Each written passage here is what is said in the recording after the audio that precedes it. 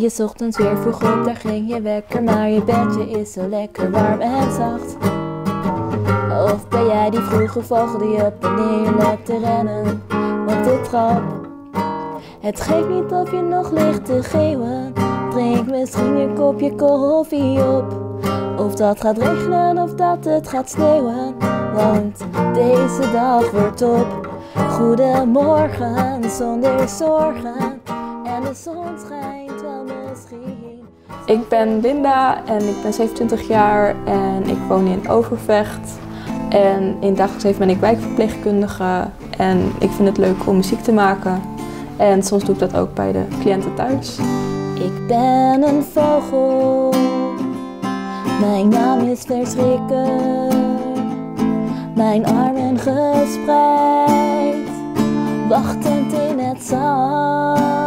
Eigenlijk een beetje in de familie. Ik ben met muziek opgegroeid. En ja, met feesten en partijen is er altijd wel muziek, zeg maar, naast het uh, lekkere eten. En um, ja, is dat gewoon een heel ding. En ja, ik ben altijd gewend geweest om of gitaar te spelen of piano. En heb mezelf ook een beetje uh, aangeleerd, maar ook van de familie geleerd. Dus ja, ik ben er gewoon mee opgegroeid. Je hebt uh, Indonesische roots, denk Ja. ik. Uh, je hebt het over je familie. Praat je dan over je vader, je moeder, je broers, je, je oma, je opa?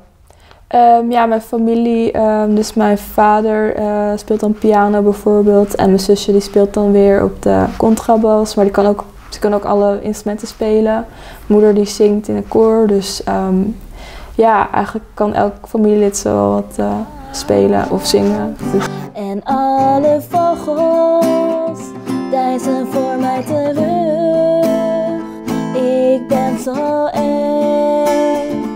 Ik uh, werk nu al vier jaar bij Zorgwacht heet dat. Dat is een uh, stichting uh, voor zowel wijkverpleging als huishoudelijke hulp. En ze hebben daarnaast ook nog een vakschool.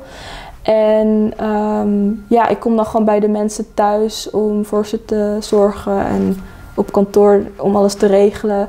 Dus ja, ik woon ook midden tussen alle cliënten. Dat is wel heel leuk. En uh, ja, af en toe speel ik wel eens een liedje voor ze. Ja, want dan neem je je gitaar mee en dan ga je spelen. En wat Ja. vinden die mensen ervan? Nou, als de je mensen, dan speelt? ehm, ja, de mensen die dat dan leuk vinden, ja, die vinden dat natuurlijk gewoon leuk om dat dan zo mee te maken, want ze verwachten het niet. Ik heb ook wel eens meegemaakt dat eh, mensen emotioneel werden. Ehm, ja, het is heel verschillend. Maar ik ga natuurlijk ook langs bij de mensen die dat eh, willen. We hebben net eh, twee liedjes van je gehoord. Ja. Eén daarvan was Ik ben een vogel. Ja. Hoe is die ontstaan? Eh, nou, ik ben een vogel. Dat was eigenlijk wel heel spontaan. Ik was met mijn zusje aan het ontbijten. En opeens kreeg ik die melodie in mijn hoofd. En ik weet niet waar die vogelverschrikker vandaan kwam. Maar ehm, ja, we gingen spelen. En eh, de tekst, eh zonder wat voor de tekst.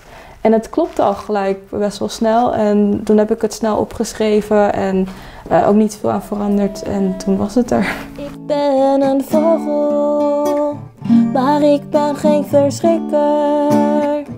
Nee, ik ben geen verschrikker.